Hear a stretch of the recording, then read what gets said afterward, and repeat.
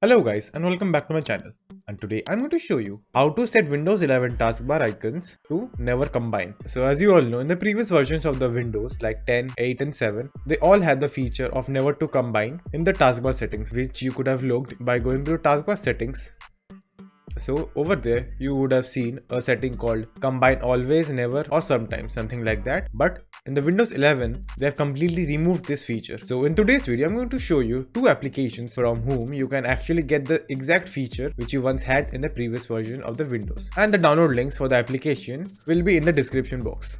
So moving on the first application we are going to see is stardock so as you can see, it's a price based application, meaning you have to purchase the application if you want to use it for a longer period of time. But in the starting two pack, you will have a 30 day trial period. So just simply click on try free or for 30 days.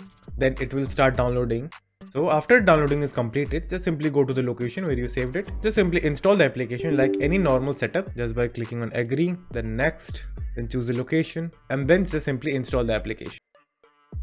So as you can see it already changed down here and all the tabs are now separated and they are not combined as they were before.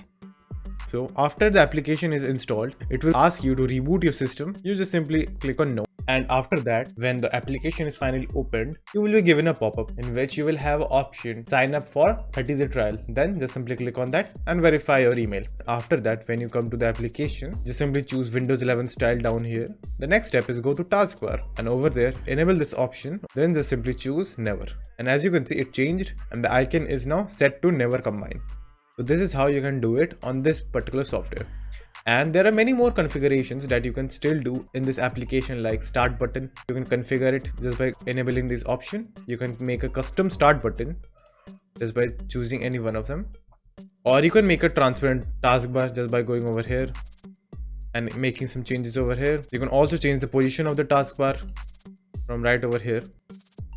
And many more options like taskbar size and etc so if you want a detailed video on this application just simply put up a comment and we will make it for you. For this tutorial, that's it for this particular application. Now let's move on to the other application. But make sure to uninstall this particular application before installing the other application which I'm going to show you in a bit. So for uninstalling this application, what you have to do is just simply close it from here. Then open your start menu and search control panel.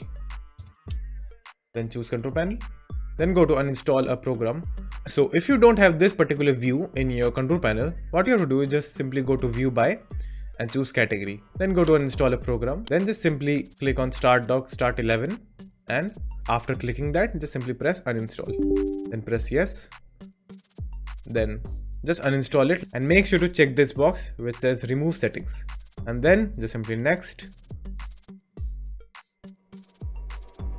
and then it will open up a window for asking you a feedback why did you cancel the subscription or why did you uninstall just simply close the tab now just simply press finish over here and you will be done with the application. But if you get a pop-up like this, just simply press no. Now if you're wondering why the taskbar have changed the position, you can fix this by just simply going to taskbar setting, by right clicking on the taskbar, then taskbar setting, taskbar behavior, taskbar alignment, then click on the drop down and click center. It will back to normal. So now let's move on to the second application. So like the first one, you also find the link for the second one as well in the description box. And as of this moment, the current version for this particular application is 3.5.6. So just simply install this. So just simply click on download and choose the location, then save. Then it's a very small application, so it will be downloaded within seconds. After the downloading process is completed, just simply open the application then it will ask you for whom do you want to install, for me or everyone. You can choose everyone if you want, but for me, I will just simply choose for me. Then in few seconds, the application will install into your system. So after the installation is complete, the first thing that you have to choose is proper Windows 11. So just simply choose that. Then go to taskbar setting over here. And in the combined taskbar button over here, just simply click on the drop down and choose never. Then if you want to center all of your icons, just simply check the center task icon over here and it will center all of the icons. You will have multiple options in this application like dynamic transparency, which will make a complete transparent taskbar. Or if you want to change the size of the taskbar, you can also do this from this particular setting. And if you want to make the taskbar in segments, you can also do that from right over here.